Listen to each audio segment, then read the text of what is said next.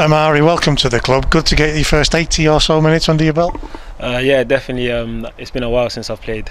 Um, my last Wrexham game was probably about three, four weeks ago now, so it was good to come out here, get 80 minutes under my belt, and then start kicking on from here. Reserve game or not, it's nice to hit the back of the net. Yeah, definitely. It's always nice to score, no matter what game it is. So I'm just glad I had the opportunity to do that. Looked like you were ready for a full-on celebration there as well.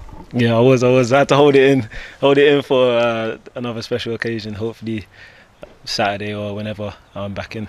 How much does it help just to settle in when you're, you're playing a game like that with the reserve team, with, with the club? I mean, definitely because you get to know people a lot more, and um, other than just getting thrown into a first team game, you get to see some of the young lads as well and see what their aspirations are coming up, uh, looking um, for advice on myself or the other older pros. So yeah, it's definitely good just to get with everyone, just not the first team lads, the young lads as well. What a few days it's been for you. Has your head stopped spinning yet? Yeah, it's not spinning now. It's not spinning. Um, hopefully, I just get settled in more and uh, just get up there for good. When did you first find out that Carlisle were interested? About six o'clock on deadline day.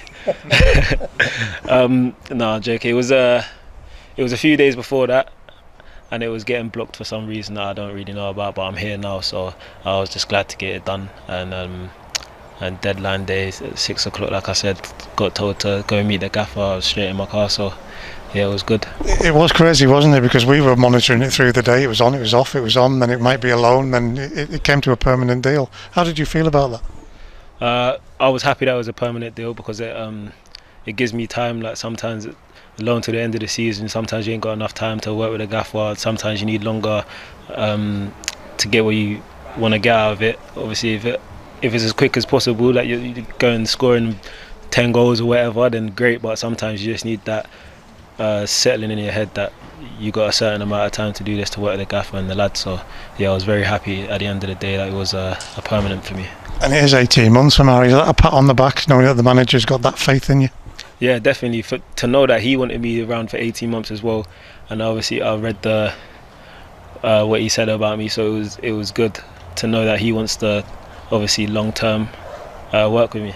And you've said it already. That means that you can settle in. You can get really get your teeth into this club. Yeah, I could definitely settle in. Been looking last couple of days of places in Carlisle to stay, so it's definitely exciting. Um, I just can't wait to get started. You got your chance to watch the boys at Mansfield. I mean, what a way that ended. And to be part of that, I know you didn't get a chance to play, but to be part of that, again, that must really help with settling in.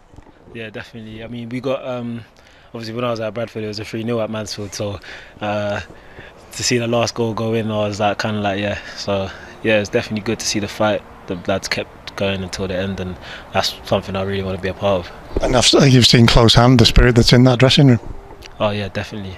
From the gaffer, from the boys, even from the young lads out here today. So it's something obviously resonates throughout the whole club. Um, that's very good. For the Carlisle fans who may not know too much about Omari Patrick, what kind of player would you describe yourself as? Um, I'm not an out and out striker, but I'm a, I could do a job like I've done today. Um, as long as I'm on the pitch attacking, I don't really mind. I like to see myself on the left. Uh, probably see a lot of pace from me and um, hopefully it's exciting football. What sort of things has the manager said that he wants to see from you over the next 18 months? He said he wants to see a lot of fight. He said he wants me to obviously improve, improve my strengths, and um, that's he's going to work with me to do that.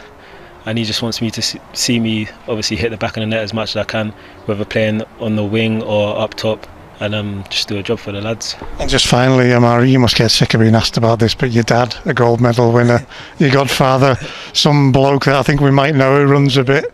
Were you ever tempted to go that way? Was there ever a conflict between football and, and, and that side of athletics? Yeah, definitely. I, I started, I joined the athletics club when I was really young. I did really enjoy it, but then I was just wasn't for me. As soon as I got a ball at my feet, that's all I wanted to do. Um, I always got the story of one day I done because my dad done 400. I done 400 meters. It's the only race I've ever lost. So I said I'm not doing that ever again, and it was just it was crazy. So yeah. I said it was the last question, but what did your dad say about that when you went? It's not that. It's football. Nah, he was all right. He, he, I think he wants to have that glory side, and I have this uh, glory side of the football. So yeah, definitely.